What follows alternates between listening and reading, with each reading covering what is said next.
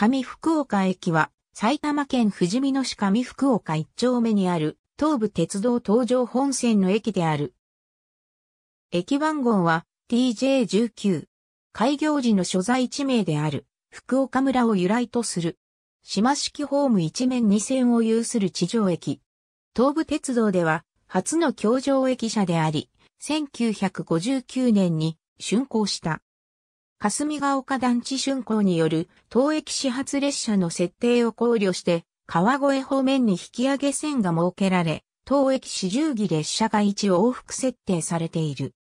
以前は引き上げ線ですぐ折り返す列車も設定されていたが、2012年時点のダイヤで当駅の引き上げ線に留置されるのは夜間から朝方のみであり、朝方から夜間は通常は車両が留置されない。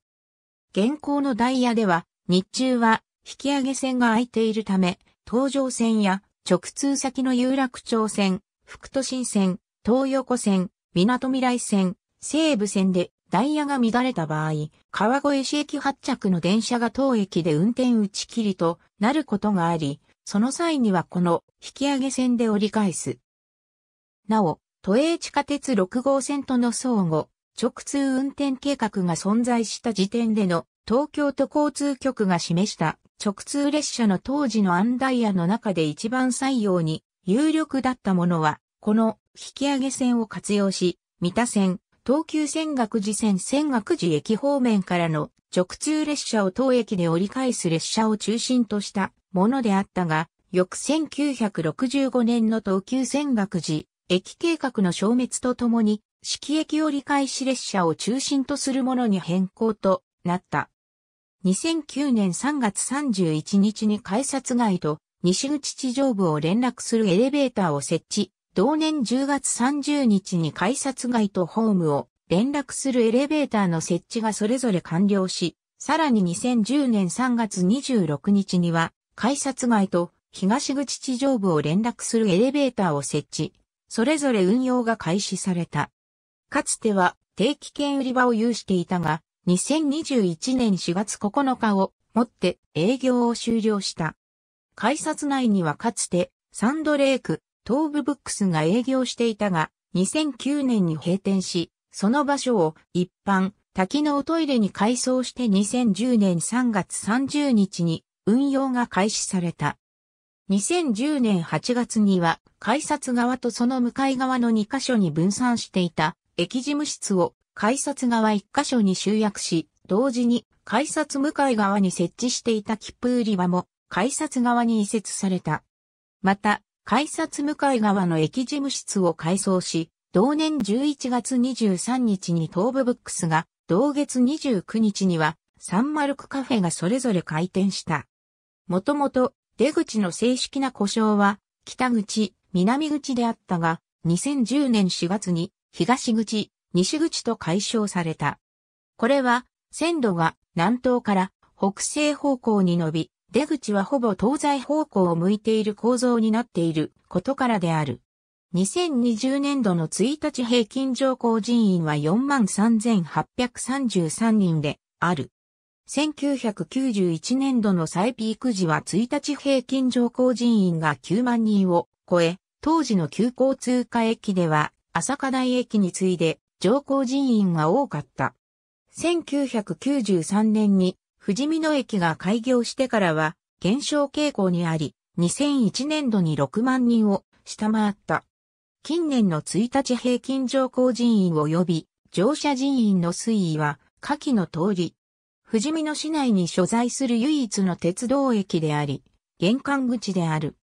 かつての所在地であった上福岡市が2005年に隣接する入間郡を大井町と合併して富士見野市となる以前から上福岡市と大井町の発展を支えてきた鉄道駅である。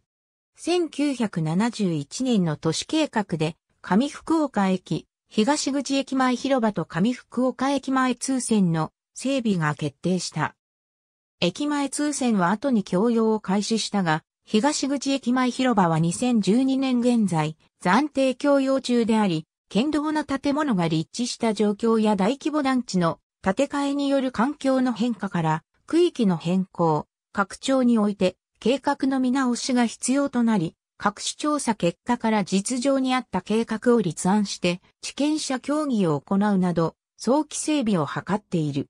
駅南側を埼玉県道56号埼玉、富士見の所沢線が踏切で平面交差する。ここはバス通りとなっているが、遮断時間が長いこともあって、しばしば渋滞が発生している。渋滞対策として、踏切の立体交差化を旧上福岡市時代から埼玉県に要望していたが、財政的な問題から県は短期における対策の一つとして、踏切を含む区間の歩道拡幅整備を推進し、踏切部分の拡幅は2010年春に完成した。また、旧上福岡市による事業として付近に立体交差の東西連絡道路を設ける事業が2004年度から展開されたが、交通計画、道路構造、財政など様々な面で課題が生じたことで一時中断し、再検討状態となっていたが、2010年12月に事業を正式に中止決定した。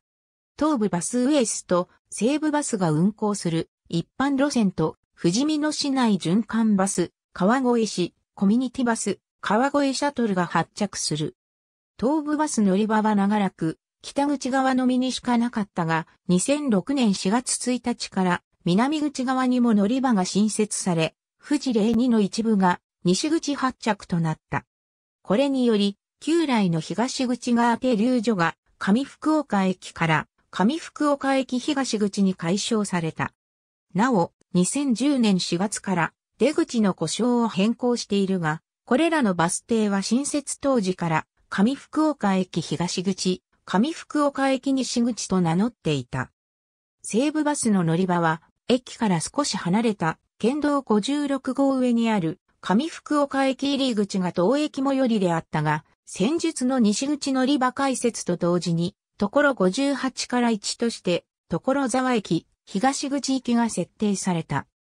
東武バス、西武バスともに西口停留所開設当初は1日に3本程度しか発着していなかったが、東武バスでは2006年12月18日より、富士見野駅西口行きを廃止し、30分に1本程度発着する鶴岡循環と平日7本、土曜、休日4本発着する大井総合支所前行きを新設した。また、廃止された富士04はすべて上福岡駅東口行きに変更された。2008年3月31日より西口発着の東武バスの運行は、新座営業所から川越営業事務所に移管され、東口発の富士見野駅、東口行きを新設した。その後2009年3月31日に、鶴瀬駅東口行きを、2010年9月30日に、当年循環を廃止した。さらに、2013年3月31日をもって、東口発の富士見野駅、東口行きが廃止となり、東口発着のバスは、富士見野駅西口行きのみとなった。2010年7月より、富士見野市内循環バスの運行範囲が、旧上福岡市まで拡大したことに伴い、一部のバスが当駅に発着している。富士見野市内循環バスは、2016年4月に、富士見野市内循環ワゴン、富士民号に転換された後、2017年4月に E コースを廃止し現行の運行形態となっている。川越シャトルは2018年4月に路線再編を行った。東武バスは転車台のあるバス乗り場から富士見野市内循環バスは朝日ビル前から発着する。上赤坂、所沢駅方面から降車する場合は、一つ手前の富士見通り停留所も利用可能である。乗り場1乗り場2乗り場3 2012年度まで直美学園大学のスクールバスが発着していたが、キャンパス移転に伴い現在は使用されていない。ありがとうございます。